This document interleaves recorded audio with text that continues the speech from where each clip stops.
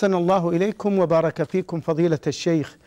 هذه الأخت السائلة تقول ابتلاني الله بالوساوس مع أنني متدينة وأقوم بكل ما أوجبه علي ربي ولكن الشيطان متسلط علي.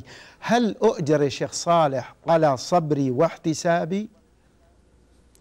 لا تصبري على هذا هذا مرض نفسي فعليك بمقاومته وأقرب شيء وأيسر شيء أن تستعيذ بالله من الشيطان الرجيم من الوسواس ومن ومن آه، الهموم والوساوس.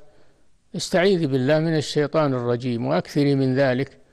وأيضا تراجعين الأطباء النفسيين ربما يجدون لك علاجا.